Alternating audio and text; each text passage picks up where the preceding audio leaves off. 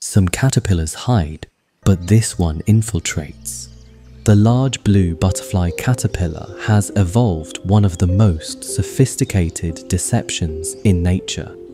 To begin her trick, she releases a drop of honeydew from a gland on her back, a sugary reward ants normally expect from their own larvae. Then she performs something far more remarkable. She inflates her body, forcing air through internal chambers, producing a high pitched chirp that perfectly mimics the distress call of a queen ant. She even releases queen pheromones, bathing herself in royal scent.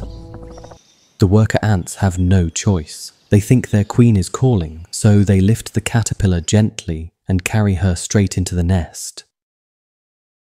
Inside, thousands of ants bow to her false signals. She moves freely, protected, fed, obeyed.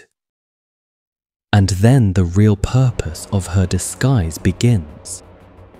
She is one of the only caterpillars on Earth that becomes carnivorous. For six months, she feeds on the colony's defenseless larvae growing 100 times her original size, consuming almost the entire nest from within. When winter arrives, she seals herself in a chrysalis underground, a prisoner the ants unknowingly guard.